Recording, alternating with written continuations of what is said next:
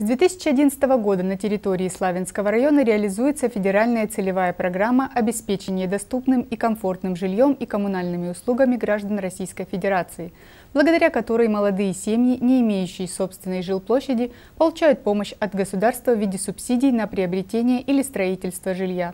В прошлом году выплаты получили пять молодых семей, проживающих в Славянске на Кубани, и пять семей из сельских поселений на общую сумму свыше 10 миллионов рублей. В этом году реализация федеральной программы по обеспечению жильем молодых семей продолжается. Выплату получили семь семей, проживающих в Славянском районе. С таким важным и радостным событием будущих новоселов поздравил глава муниципалитета Роман Синеговский.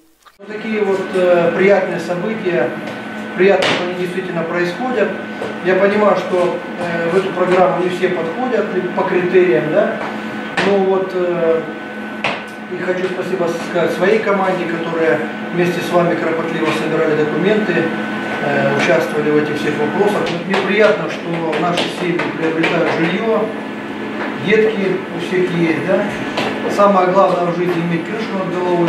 У нас получается 13 семей в этом году стали участниками этой программы. Поэтому я вас поздравляю. В федеральной программе Славянский район участвует на условиях софинансирования. 51% суммы – это федеральные и краевые средства, 49% вносит бюджет муниципалитета. По условиям программы семья обязательно добавляет к субсидии собственные средства, достаточные для приобретения или строительства жилья.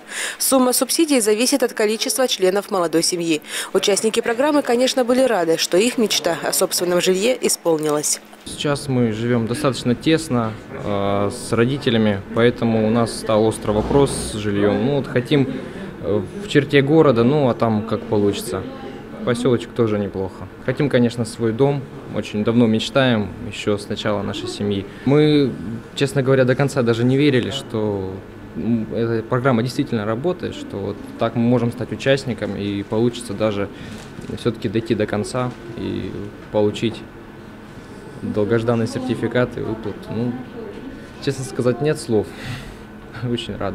Мы очень благодарны, что есть такие программы, в которых можно все-таки реализовать свои мечты, желания. И я бы всем советовал заниматься этим вопросом, если есть нужда, есть потребности, не складывать руки, биться и все-таки, э, чтобы мечты все ваши сбылись. Многие семьи, которым вручили сертификаты, многодетные.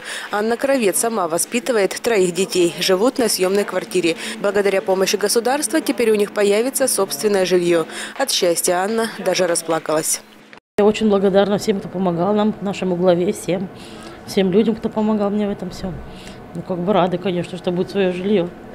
В ближайшее время выплату получат еще шесть семей, проживающих в городе. В целом, начиная с 2011 года, выплату получили 53 семьи. Все получившие субсидию семьи приобрели жилье в Славянском районе. По вопросам получения государственной выплаты молодые семьи, проживающие в городе, могут обратиться в администрацию города Славянска на Кубани, улица Ковтюха, 29. Молодые семьи, проживающие в селе, в управление строительства администрации района, улица Юных коммунаров, 70. Анна Монастыренко, Георгий Калинин, программа «События». Вместе.